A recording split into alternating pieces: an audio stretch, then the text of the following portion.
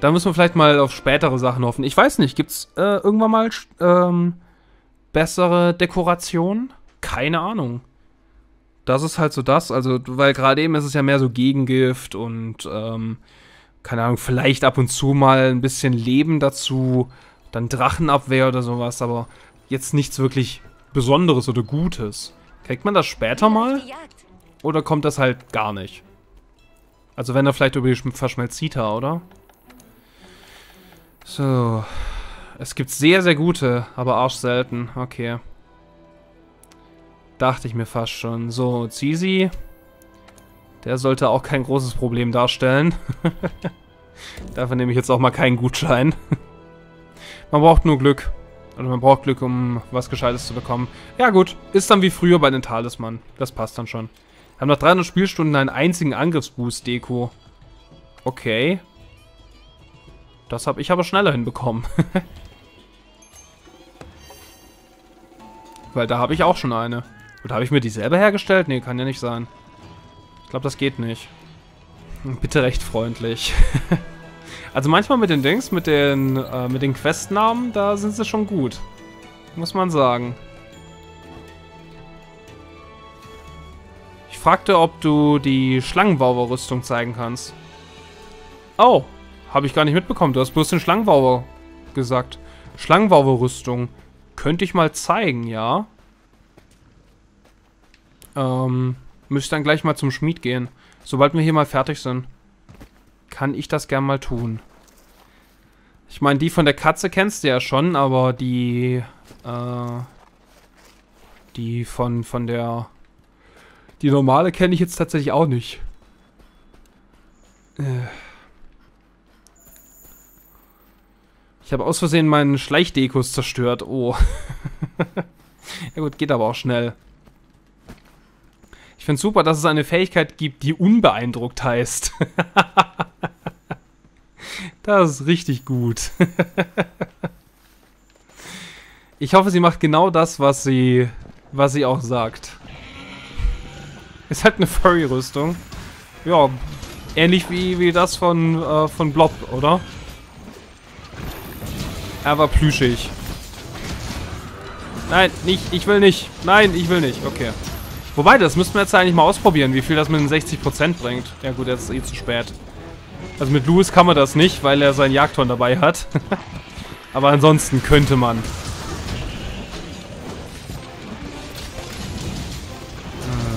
So, dann laden wir das gleich auf. Och, ist das angenehm, einfach davon nicht getroffen zu werden. Ich meine, dadurch geht der Zizi natürlich irgendwo ein bisschen kaputt, weil das seine große Stärke ist, aber naja, es ist jetzt so ein, so ein, denkst, so ein Raptor. Der, der muss jetzt nicht so überkrass sein. Würde ich jetzt mal sagen. Wir können es mal natürlich heimzahlen, indem wir das einfach genauso machen. Plüsch von der Schlange. Ja, ja. Die, die Rüstung von Blob ist auch von der Schlange. Die Plüschrüstung. Macht zwar keinen großen... Er, er, hat, er hat Fell am Rücken. Wenn er, wenn er böse ist. Also wenn er, wenn er aggro ist. Dann hat er Fell am Rücken.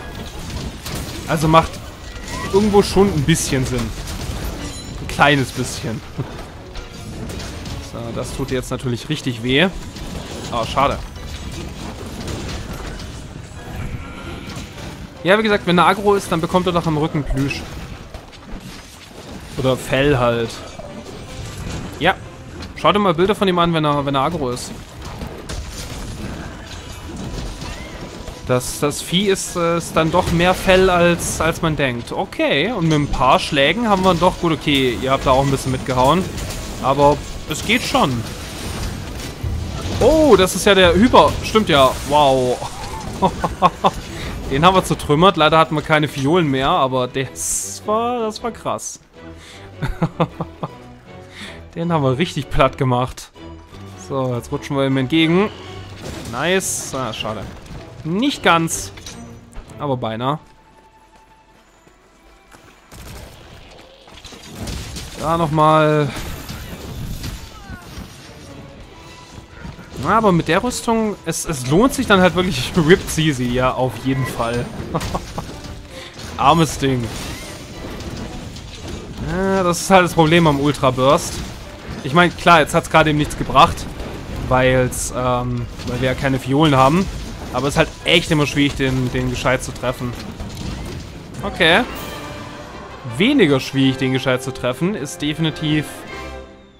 Ähm, nee, halt. Wie rum? Keine Ahnung, den sie zu erledigen war jetzt nicht so schwierig. Das wollte ich sagen. Irgendwie, ich wollte da auf irgendwas hinauslaufen. Aber ich habe vergessen, auf was. Oder wie genau. Oh, es ist auch schon spät. Wir machen noch eine oder zwei Quests. Damit wir da wenigstens ein bisschen vorankommen. Wie gesagt, dass wir mal ein paar von den Nebenquests abschließen, weil noch so viele offen sind. Es werden halt immer mehr, das ist halt das. Jetzt habe ich ja das neue Gebiet freigeschalten, das ich jetzt noch nicht verrate. Und, ähm, ja, da gibt es dann halt auch wieder 10 Monster, die wir erledigen müssen. Naja. Habe jetzt außerdem Kulve Hüftring, okay. du hast der Kulve also einfach ihre Hüfte geklaut. Die Arme. Das war ein harter Kampf. Ja, auf jeden Fall. ich, hab, ich hab's davor auch selber nicht gewusst, ob wir es gegen den Zizi schaffen oder nicht. Das ist schon... War schon krass. So, schön. Was haben wir hier? Feines. Schleichjuwel. Versteckt eine Tarnung-Fähigkeit. Oh, okay. Ob ich die jemals brauchen werde, ist halt die große Frage. Das Gigante-Set tut echt weh. Angriff plus 6 mit meinem Tali. 12 Crit und 16 Raw bei Rage Mode. okay. Ausholung 3 und plus 30 Crit bei maximaler Ausdauer. Das hört sich interessant an, ja. Vor allem plus 30 Crit ist krass. Oh. Also vielleicht wird die, wird die Nergigante-Rüstung ja meine nächste. Ist schon interessant, ne? In allen früheren Monster Hunter-Teilen hatte ich immer ein ziemlich, äh, ja, also an sich ja immer ziemlich die gleichen Sets. Muss man einfach sagen. Fang der... Ach, das war ja genau, das war das. das war die Quest. Da habe ich mich äh, in der letzten Part schon drüber lustig gemacht. Wir haben eine Quest namens Fang den Paolumu, in dem wir einen Paolumu jagen sollen. Das ist richtig merkwürdig. Naja. Ähm... So. Ähm, was wollte ich jetzt sagen? Ja, äh, genau. Ich hatte früher eigentlich ja immer ein ziemlich genaues Set, äh, das ich immer genommen habe. Oder genaue Werte oder Fähigkeiten. Aber die haben sich jetzt alle so ein bisschen, sind jetzt nicht mehr so interessant oder so relevant in World. Ist schon interessant. Beziehungsweise kann man es ja auch nicht mehr so einfach holen. Ich mag Karin plus Legianer. Gibt erhöhte Belohnung allgemein und erhöhte Belohnung beim Fangen. Aha. Das ist vor allem in so einem Vierer-Team ist das ganz gut, wenn du einfach bloß die Quests mitmachst, theoretisch. Wollte noch schnell Kulvezeug anziehen. Sieht ziemlich cool aus. Ah, okay. Mal sehen, finden wir dich? Vorne ist er. Bleib stehen. Ah, der... Der Hüftring oder der Hüftrock ist schon Schon interessant. Na toll, ist die Spähkäfer da im Weg. Ist ein... Ist ein schickes Set, ja, muss man sagen. Passt. So, wo ist er denn, der Gute? Äh, da oben. Wie komme ich da jetzt genau ran? Ist da nicht irgendwo so ein Käfer? Nee, Schleuderfackel. Da. Kann ich mich ja auch so rangrappeln? Ah, jetzt. Yes. Zack. Und irgendwie... Zack, yes. Na also, und gleich drauf. Oder auch nicht. Na gut. Willst du eigentlich alle Haustiere haben? Ja, also es wäre jetzt nicht meine, meine erste Priorität, aber so grundlegend wäre das schon ganz nett. ja, will er. du siehst ja, wie es steht. Ja, also wie gesagt, das wäre nicht meine erste Priorität, aber so grundlegend, ja. Ich weiß halt nicht, was es da so alles gibt, aber kann man schon machen. Wow. Wieso explodiert der Paolumo da? Armes Ding. Das hat er doch nicht verdient. Jetzt habe ich ja die Wasserdoppelklingen. Das ist bestimmt Bestimmt richtig gut. Das ist der kleine Flausch hier. Oberste Priorität, ja, für dich vielleicht. Hättest du wohl gerne. So, der Zugangriff mit, ähm, mit den Waffen bringt natürlich jetzt nicht so viel. Muss man jetzt einfach zugeben. Also die Rüstung mit Doppelklingen bringt äh, zumindest was den, was den einen Effekt angeht, nicht wirklich viel. Oh Gott. Allem, du hast doch deine, deine tollen Haustiere. Da gibt es bestimmt nicht mehr so viel Interessantes.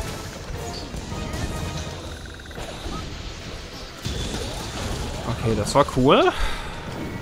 Damit kann ich dann, wenn ich dann irgendwie nach vorne komme, wenn ich nicht ständig in dieser Animation drin bin.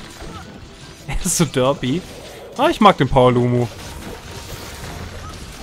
Er will halt irgendwie gemein aussehen, aber er ist es irgendwie nicht. Das ist halt das. Er ist eigentlich echt niedlich. aber er, er versucht gemein zu sein oder böse zu sein. Was ihn eigentlich nur niedlicher macht mal drauf. Na, also. Ja, macht doch ganz gut Schaden. Auch wenn es das, denke ich, definitiv wieder nicht seine, wow, seine, seine Schwäche ist. Kriegen wir das doch irgendwie hin. Es gibt von vielen Tieren seltene Arten. Ja, das dachte ich mir fast. Dass das nicht ganz so einfach ist, alle Tiere zu sammeln. Gibt es eigentlich ein Achievement? Gibt es dann auch einen seltenen Wackelwurm? Wünschte, ich würde so aussehen. Wie der Paolumo? Wäre ein bisschen merkwürdig, oder? oder was meinst du jetzt?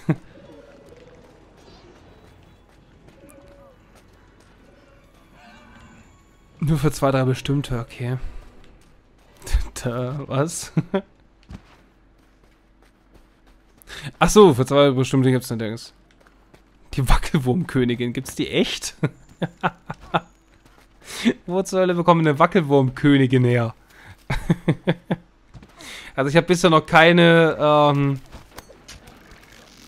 Ich habe bisher noch keinen, keinen Wackelwurm mit Krone gesehen. Das ist süß und flauschig. Das ist ein hässlicher Gnome mit plüschigem Fell. ja, also wirklich, wirklich schön ist er jetzt nicht. Muss man jetzt sagen. Kuma.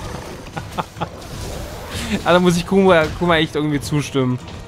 Wie gesagt, es ist jetzt nicht der schönste.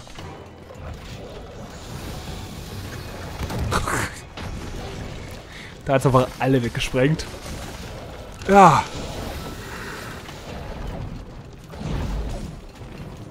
Oh je. Okay. Ich bin irgendwo runtergefallen. Viel Spaß beim wieder hochkommen. Ja, es ist eine Fledermaus, aber sein Gesicht ist so merkwürdig. Das ist halt das. Au.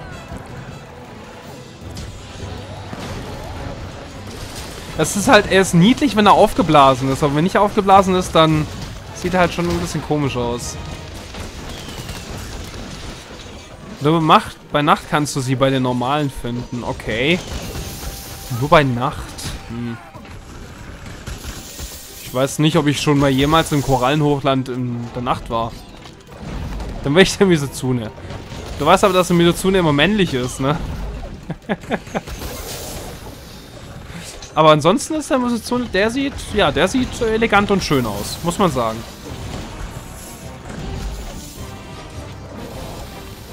Aber ja. Die Sache ist halt immer männlich. Ja. Die, die man bekämpft, sind immer männlich. Also, es gibt bestimmt auch Weibchen, aber äh, die, die man bekämpft, sind, sind männlich. Wegen dem roten, wegen dem roten Kamm, den sie aufstellen. Ich dachte weiblich. Nee. Was? Nur die Miso, die man bekämpft, sind. Ja, ja, klar. Wie gesagt, also es gibt, das meinte ich ja. Es gibt äh, schon weibliche, aber die, die man bekämpft, sind halt immer männlich. Es wäre schon merkwürdig, wenn es einfach bloß... Wie sollen die überleben, wenn sie nur männlich sind? das würde irgendwo keinen Sinn machen, oder?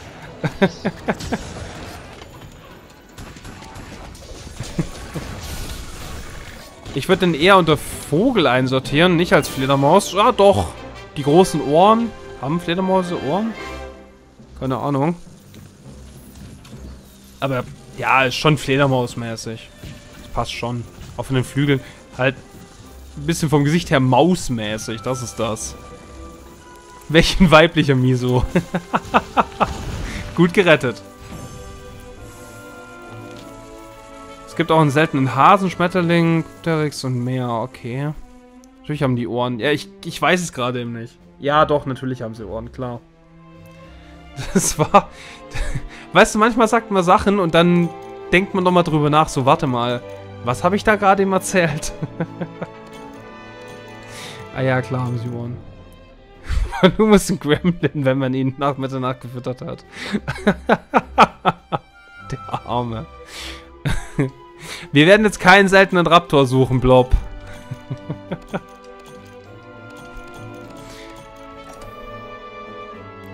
Dadurch Miso hat viel schwächere Farben. Ja gut, damit muss sie halt leben.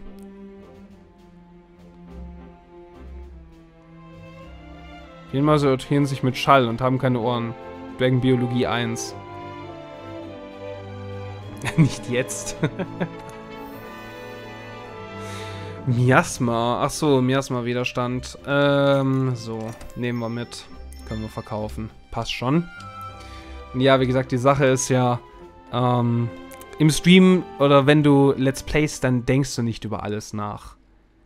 Du, äh, du haust einfach irgendwas raus und wenn du das Haus rausgehauen hast, dann überlegst du dir, warte mal, passt das überhaupt? Und dann, dann kannst du es bestätigen. Und wo gibt es den seltenen Schmetterling? Das ist kritische Information, ja. oh, wir haben hier eine Odogaron auf der Karte. So. Ich will aber eigentlich... Ich will eigentlich zurück. Dann würde ich sagen, beenden wir jetzt auch für heute.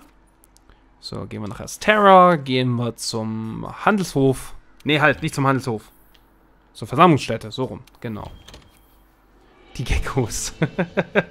Xamok will nur die Schmetterlinge. Das ist seine einzige Sache. Ich fürchte jetzt schon den Tag, an dem das Item für das Feuerwerk leer ist. ja, das wird wahrscheinlich bald soweit sein. Aber es kann ja gut sein, dass sie bald schon wieder ein neues Feuerwerk-Event machen. Keine Ahnung, irgendwie Sommerfest oder was weiß ich. Ich denke, äh, so ein Feuerwerk wird es noch öfters geben. Kann ich mir zumindest gut vorstellen. Spätestens zu Silvester muss es dann halt horten. da muss ich davon wieder 30 fangen, mein Haus, Haus, Haus aufzufüllen. Oh Gott. Mach alles voll mit Schmetterlingen. Ähm, schauen wir mal kurz. Äh, was zur Hölle ist das? So ein Bild will man selten sehen. was wäre denn die nächste Quest? Schade, dass sie kein Sakura-Event hatten. Hatten sie doch. Frühlingsblütenfest. Das war ja so theoretisch das Sakura-Fest. Hm. Optionale Quest, genau. Was wäre jetzt hier die nächste? Ja, die 10 Gyros. Ja, gut. Nee, passt schon. Das Event war ugly. Wieso? Na gut, wir beenden. Passt schon. Da haben wir die drei nochmal schnell gemacht. Alles, was wir jetzt dann weitermachen, würde aber bloß wieder viel zu lang brauchen. Deswegen, wie gesagt, beenden wir jetzt. Keine schöne traditionelle Rüstung. Ja gut, das, das dann vielleicht nicht. Vielleicht gab es den dann bloß in Japan, ich weiß es nicht.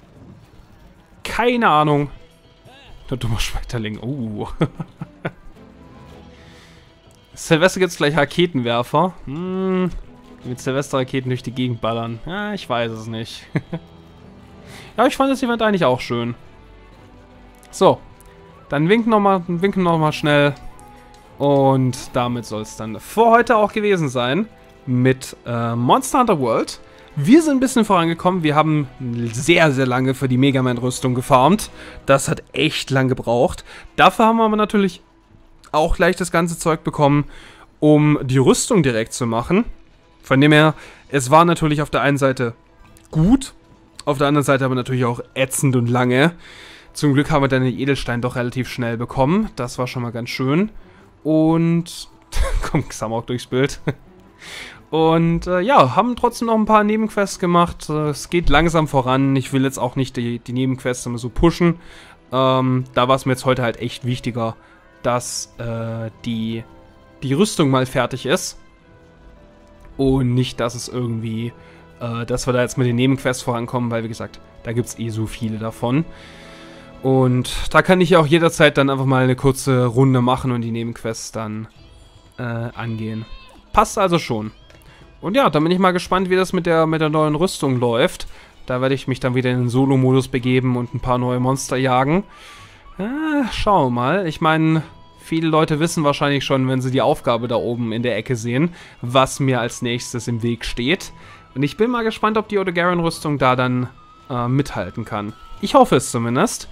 Und ja, das soll es dann für heute gewesen sein mit Monster Hunter World. Wie gesagt, waren wieder schöne Runden. Ich bedanke mich auf jeden Fall nochmal bei euch fürs Mitspielen und fürs Helfen. Vor allem, wenn es dann wieder gegen die 5 Odogarans halt ging. Das war halt schon ein bisschen arg stressig. Und ja, dann sehen wir uns das nächste Mal wieder, wenn es weitergeht. Wieder im Offline-Modus oder im Solo-Modus, wenn wir die nächste große Herausforderung angehen. Also dann, ciao!